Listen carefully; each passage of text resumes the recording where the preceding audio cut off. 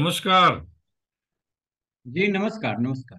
हम बातचीत कर रहे हैं newsletter with Rakesh Ranjan YouTube channel के संपादक राकेश रंजन जी के साथ झारखंड से।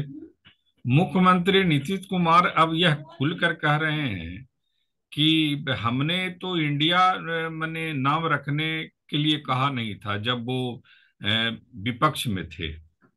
तो अब जब चूँकि एनडीए में आ गए हैं तो इसका खुलासा कर रहे हैं कि, जैसा कि मीडिया में यह बात आई भी थी कि बंगलोर से वो नाराज़ होकर के चले आए थे क्योंकि उनकी बात नहीं मानी गई थी और इंडिया नाम उनको अच्छा भी नहीं लगा था। तो अब इन सब खुलासों के पीछे का क्या राज है? आप क्यों खोल रहे हैं? उस समय क्यों नहीं खोले थे?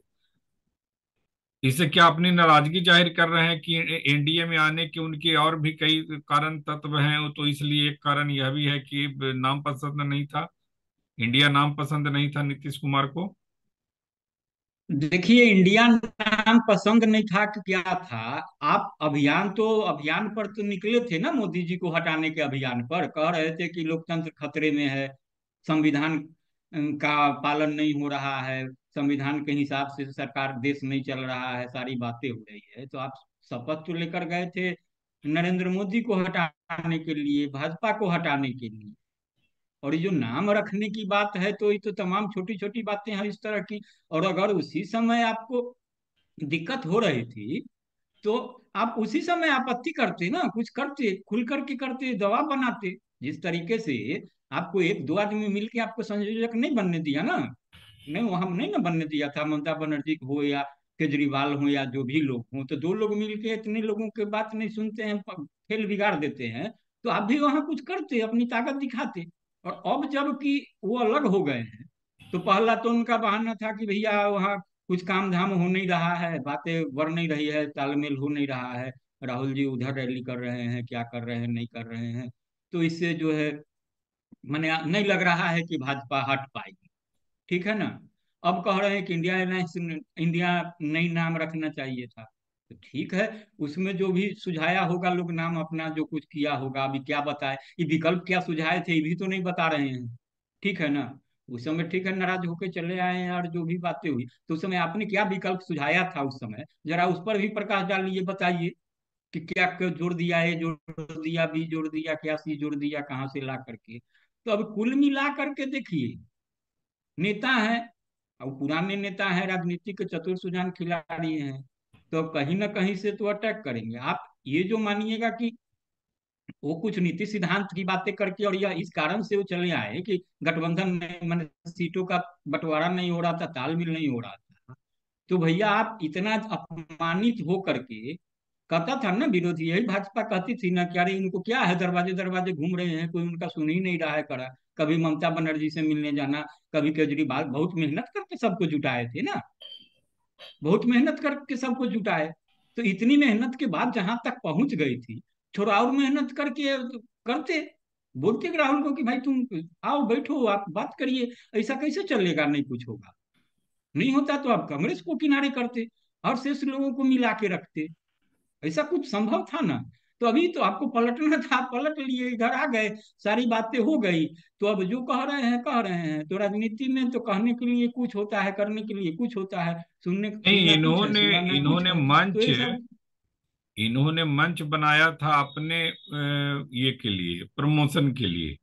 और इनके मंच पर मैंने एज ए सूत्रधार इनके मंच का हाईजैक किसी और ने कर लिया विपक्षी दलों ने। तो इनको तो खराब लग ही सकता है ना। अरे तो भैया तो खराब लग गया। तो आपको आप, आपकी स्वार्थ सिद्धि नहीं हुई। हाँ आपको तो खराब लगा तो आप, हाँ। तो आप रास्ता नाप लिए तो उन लोगों को भी कुछ खराब लगा होगा जो अच्छा लगा वो किया इंडिया नाम रख लिया। क्या किया? उनको भी यही अच्छा लग रहा था कि हम रैली कर ले पहले भैया।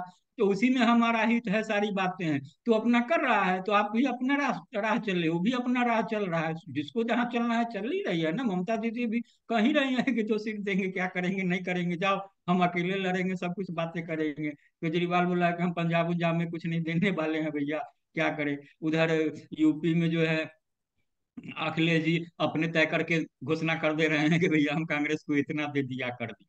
तो कांग्रेस के भी तो अपनी महत्वाकांक्षाएँ हैं ना। वो भी तो इतने लंबे समय तक शासन किया है। ये लोग जो, ये लोग, इन लोगों की जो पैदाइश है राजनीति में, तमाम लोग थे तो कांग्रेस के खिलाफ ही पैदा हुए हैं। सब कुछ किए हैं, आंदोलन कर रहे हैं, बंसवार, फलना, ढेगना, क्या क्या बोलना, सब कुछ बातें करती थी। फिर पलट के कभी उसी के साथ, कभी उसी के साथ, अब उसी कांग्रेस को बढ़ाने के लिए आगे निकल लिए। तो ये सब तो बातें होती ही रही है ना। तो राजनीति के हमाम में अब तो सबका नंगापन ज़ाहिर है। अब किसको आप क्या कहिएगा, नहीं कहिए। कांग्रेस जो कर रही है उसके मन में भी तो कहीं भले मजबूरी में साथ आ रही है, ठीक है ना? आना चाह रही है, लोगों को जोड़ना, जोड़ने की बात कर रही है, लेकिन उसके मन में भी तो कहीं ना कहीं यह है कि भैया, ये लोग तो हमारा ही दुश्मन था हम ही को मार के खड़ा हुआ है, कमज़ोर करके खड़ा हुआ है। तो हम इसको कैसे पढ़ने दे? क्या करें, नहीं करें? क्योंकि आज भाजपा इतनी मज़बूत हो गई है कि उसको निपटना, निपटाना है। नहीं निपटाएँगा तो फिर बड़ी मुश्किल हो जाएगी।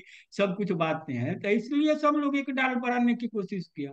और उसमें कहिएगा तो उस खेल, जिस खेल की बात नीतीश कुमार कह रहे थे कि हम भाजपा को बाहर कर देंगे सब कुछ कर देंगे तो, आज भाजपा के सबसे बड़े हितैषी वही निकले कि इसका मतलब है कि उन्होंने तो दिखावा किया तमाशा किया या कुछ ऐसा भी उनके मन में रहा होगा कि सब दिखा करके विपक्ष को हम एकजुट करेंगे आपको हरा करके ही दम लेंगे आप भाजपा को डराने उड़ाने का कोशिश किए होंगे कुछ आपकी ऐसी मंशा रही होगी या यह भी बात कही जा सकती यानी आप कह रहे हैं कि भाजपा विपक्ष को ये भंडोल या तोड़ने फोड़ने के लिए नीतीश कुमार ने ये चाल चली थी?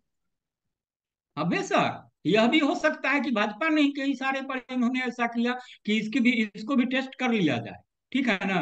कि लोग सचमुच तो कहीं एकजुट एकजुट होकर के कुछ हमारा बिगाड़ सकता है क्या? ऐसा कुछ हो सकता है? आ, हो गया कि साम, हो गया सामने की सब होना, होना जाना नहीं है ये लोग एकजुट जो है तो अपना सामने है। तो इसलिए नीतीश कुमार किसी दूसरे को कटघरे खड़ा न करें। भाई उनकी जो अपनी राजनीति है करिए आप जहाँ है करिए। अब एनडीए की बेहतरी देखिए आप काहे को सलाह देने घूम रहे हैं? उसे पुरानी कहानी मत दोहराइए। एक आखिरी सवाल ये क्या राहुल गांधी की जो यात्रा है भारत जोड़ो न्याय यात्रा क्या उसमें उन्होंने एक बारगी फैसला सिर्फ़ अपने आधार पर फैसला ले लिया? उससे भी तो नीतीश कुमार नाराज़ नहीं हो गए थे। अरे जब तीन तीन चार चार बैठक में जब यह तय नहीं हुआ कि सार्वजनिक कार्यक्रम, मान मिला जुला कार्यक्रम कब होगा, नहीं होगा। सब लोग अपने पार्टी है तो अपना अभियान तो चलाती ही रहती है। तो राहुल की यात्रा निकालने की योजना तो आज की योजना नहीं थी। जब वो पहले चरण निकाले थे, उसी समय था कि दूसरा चरण भी निकलेगा, सब बातें होंगी। तो उन्होंने उसको क्रियान्वित किया है।